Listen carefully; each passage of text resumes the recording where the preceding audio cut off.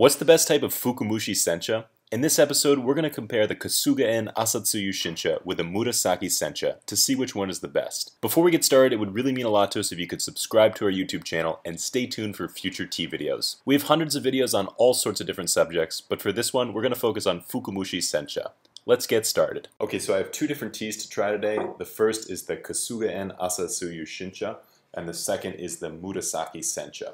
Um, so these are two deep steamed or fukamushi teas from Mr. Kawaji. Um, he has a small tea farm right outside of Kagoshima, uh, and there he's really specializing in these deep steamed fukamushi teas, which both of these are. Um, so actually I have to go get a pair of scissors real quick to cut this open because it's a new pack. So I'm just going to go ahead and open this up. It's kind of shrink wrapped here. So the air will kind of escape. Should be nice and fresh. And I'm going to go ahead and uh, pour out five grams or so of this tea. I'm using kind of a rough estimation here. So I like to think that after all these years, I can kind of eyeball it out and, and, get the measurement more or less accurate. Uh, these teas are probably going to look pretty similar, although the Murasaki may have smaller pieces, and that just may be because I'm uh, further down the pack. Um, so you see the color is about the same between these two teas. Uh, they're both kind of scattered into these smaller leaf fragments. So um, in addition to these larger leaves, you can also see this kind of, I wouldn't call it quite a dust, but it's definitely smaller leaf particles. And this is common with uh, fukamushi. So normally this would be something you don't want in a tea, um, but if the tea is fukamushi, you don't really need to worry about this. It's just kind of a side effect of how the tea is prepared. Um, so this tea is steamed for a longer time, and um, you know, I'll, I'll, get into that a little bit later while we're waiting for the tea to brew. So let's go ahead and prepare these two teapots.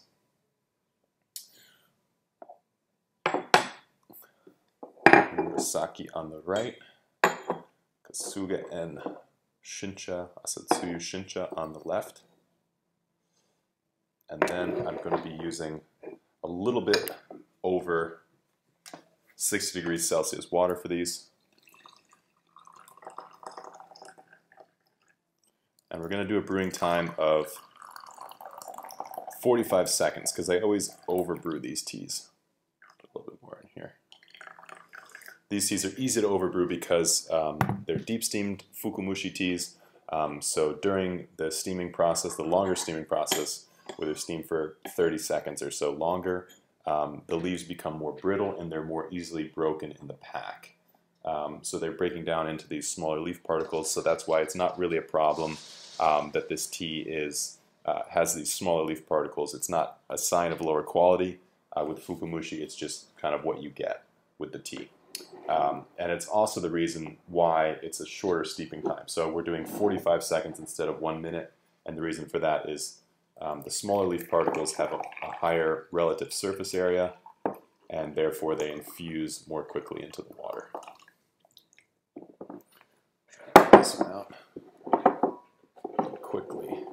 This one. So more or less the same water level, I would say. Maybe a tiny bit more for the um, asatsuyu. So the Asatsuyu, as the name would suggest, is from the Asatsuyu cultivar, whereas the um, Murasaki is from the Yutaka Midori. Um, so these are both great, great cultivars. Asatsuyu is, is known for being more commonly used in, in kind of premium teas like Gyokuro, um, whereas the Yutaka Midori is really a great uh, tea for Fukamushi. Um, this one is usually kind of because uh, asatsuyu is usually considered almost too good to make a fukamushi tea.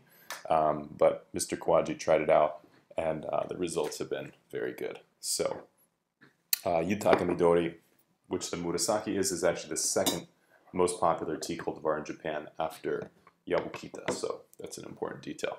Um, if we look at the color here, this one's much greener. Uh, asatsuyu actually means, uh, no, actually, sorry, it's Yutaka Midori that means abundant green. Um, but as you can see here, the the uh, Asatsuyu is actually um, is actually a little bit more green here. So not exactly sure why that is, um, but it is interesting nonetheless. So let's go ahead and take a, a sip of the Murasaki first. Oh yeah, I'm really getting a powerful flavor with this one. This one is a really full-bodied tea.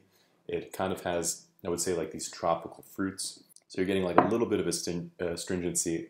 The beginning is very smooth, a little bit of that umami flavor, and then uh, the finish is kind of more on these tropical or more citrusy fruits actually. So things like papaya, like a tiny hint of pineapple, something like that. Just kind of a little bit sweet and fruity, but also kind of a little bit of that citrusy finish to them.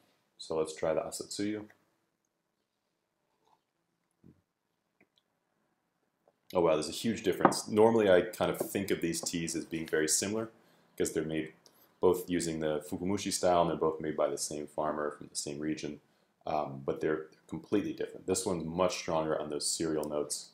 Yeah, a lot more of these starchy qualities um, there is that kind of sweet corn flavor that kind of that draws you in initially, and then it kind of has a more starchy finish.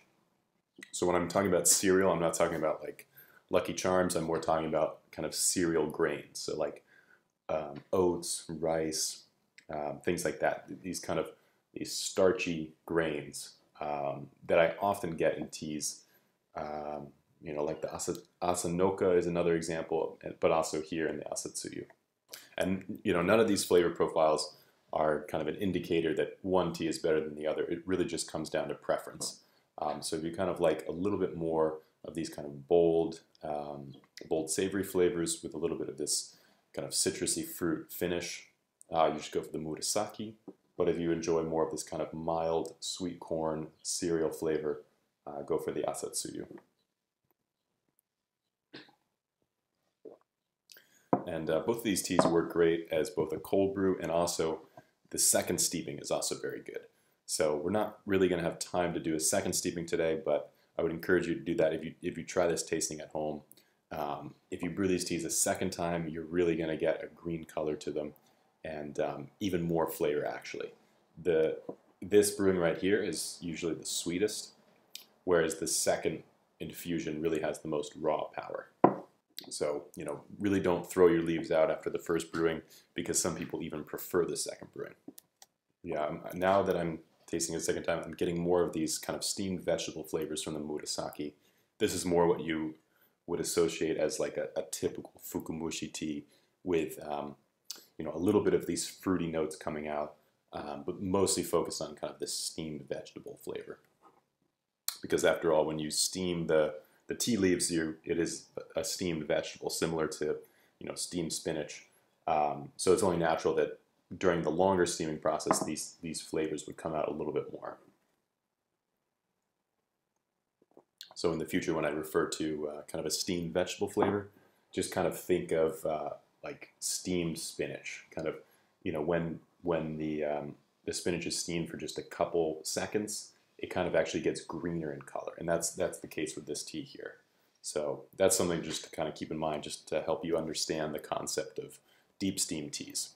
So normally a tea is steamed for um, 60 to 90 seconds, but Fukamushi can be steamed up to 120 seconds. So it doesn't seem like that big of a difference, um, but if you've ever tasted two teas side by side, the, the normal steam versus the deep steam, you'll really notice a difference right away. So I hope you all get a chance to try out both of these teas or one of the other, um, however you, you choose to do it. Um, both of these teas are from the farmer Mr. Kawaji, um, really talented farmer, uh, definitely our go one of our go-to farmers with these uh, deep steamed Fukamushi teas. Uh, so if you like those, check these out. They are included in the mega sampler as well. So if you want to try 30 different teas that we found from all over Japan, um, check that out and see which ones are your favorite. Um, but thank you all for making it this far in the video. If you haven't already, please feel free to subscribe to the YouTube channel and stay tuned for future videos. We'd really appreciate it. Um, but until then, we'll see you next time.